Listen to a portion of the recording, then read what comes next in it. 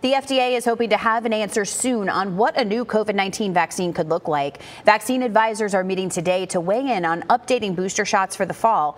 Experts say the move is crucial to keeping people protected as our current vaccines are losing immunity. So we reached out to a local expert to find out more about how this could impact your family. ABC Action News reporter Larissa Scott is live from Tampa with more on the potential for a new shot. Good morning, Larissa. Hey, good morning, Heather. Well, vaccine advisors have to figure this out fast. The FDA has previously said that they need to decide whether or not to change the vaccine formulas by the end of June. So that way, drug manufacturers have enough time to get them ready by fall.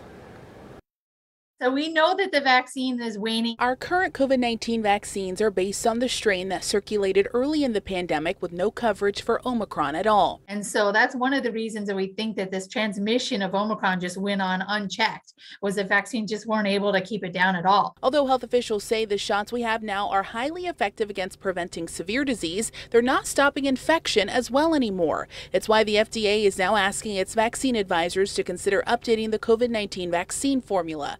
Experts say this is especially important because data show there's a risk of another major COVID 19 outbreak this winter due to the combination of waning immunity, further evolution of variants, and increased indoor activity. So, what is that coronavirus vaccine going to really look like in the next form? That's the question the FDA committee is hoping to answer, trying to figure out what a new COVID 19 booster shot could look like and what will be in it. We think Omicron will be included. We think maybe Delta will be included. Maybe the original coronavirus strain will be included, but what else?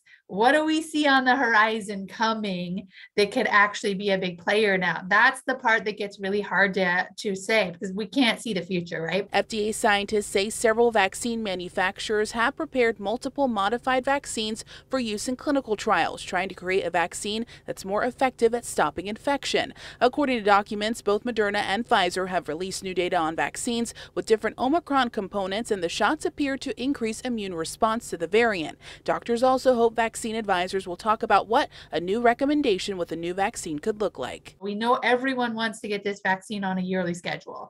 So we're not having to boost and boost and boost. That's not sustainable. People will stop boosting over time. The vaccine advisors will be asked to vote on whether or not to include an Omicron specific component in future COVID 19 vaccines. This will be an all day meeting starting at 8.30 this morning, and we will, of course, continue to keep you updated on this developing story on abcactionnews.com. I'm live in Tampa this morning. Larissa Scott, ABC Action News.